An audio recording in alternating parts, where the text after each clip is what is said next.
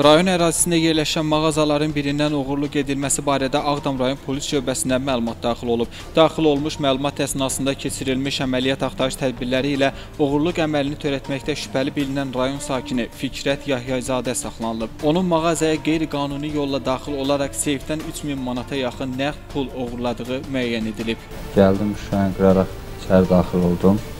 Seyfdə pul var idi. Pulu götürüb çıxdım, apardım evə.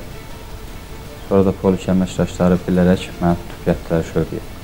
Bundan başqa keçirilmiş tədbirlərlə narkotik vasitələrin kultivasiyası ilə məşğul olmaqda şübhəli bilinən rayon sakini əvvəllər məhkum edilmiş Arzu Məmmədov saxlanılıb. Onun yaşadığı ünvana baxış keçirilən zaman aqrotexniki qaydada qulluq edərək yetişdirdiyi çətinə bitkiləri və çəkisi 1 kiloqram 390 qram olan marixuana aşkar edilərək götürülüb. Özüm çəkmək üçün əymişdim.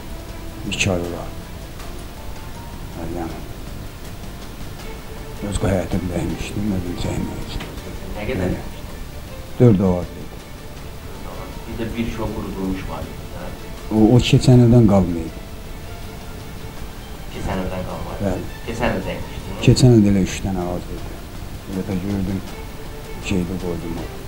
Faktla bağlı Ağdam rayon polis şöbəsində araşdırmalar davam etdirilir. Qurban Vidadoğlu, Şamxal Cəlloğlu, Loğman İsmailov, Dünya TV.